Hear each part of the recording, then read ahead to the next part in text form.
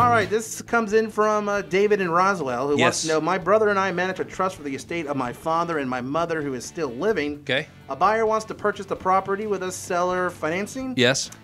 Is that okay, and what are the pros and cons of this? So let's set the scenario up, Alfie. So let's put you in the position of David. Okay. You David. own a property. Let's say now your parents are still alive. Love Correct. it. They're fantastic people. Yes, they're amazing. But let's just say that you were having to sell property for them. So and let's Okay. say that they don't owe anything on it, more than likely. All right. Because I think that's actually the situation. Correct. Uh, and let's say the buyer comes to the table and the buyer wants to have your mom and dad finance the property for them and make payments. Normally they do it for a few years and then there's some type of balloon payment. So let's say they come and ask for your parents to finance it for three years. And a lot of times it's because the buyer does not have the ability currently to qualify for a loan. Let's just say you were going to sell something and get $250,000 in proceeds. Okay to use that as an example, Alfie? Yeah, sure. So if your parents were to get the $250,000 and they put it in the bank, they can't make any money.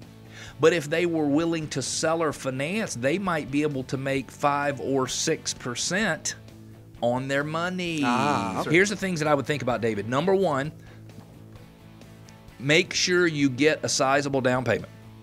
All right. What is that number? Yeah, that is say. a it's a big enough number that they are scared to lose it.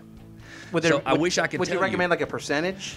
Ideally 20%. Okay. But in some cases, let's say you could get, you know, uh, 10%, so you get 25,000 on your $250,000 purchase, that might be enough to make the buyer think Work twice Gotcha. about walking away from it.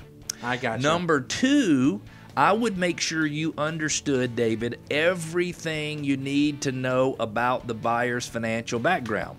Who's going to be on the mortgage? Who are the purchasers? Who will be on the mortgage when they refinance it? Meaning, like they'll have to refinance it within three years in this case and get a real mortgage on it. What are the credit scores today? What are the employment situations, the income? What are the debt to income ratios? And if the buyer cannot qualify today, I would ask for a listen to this, Alfie, a written plan from the buyer as to where they were today in all their financial situation and what they needed to do to get themselves in a position to finance. Yeah. Your main thing is does this person have the ability to pay? Correct. Yeah. Good Can point. they pay and can they get themselves in a situation to finance it on their own when the time comes? So where are you where are you today? Where do you need to be in order to finance it yourself and what are the steps that need to be in place? One last thing David I'd like to mention. The seller financing first mortgage exhibit gives the buyer the obligation to pay for the closing cost.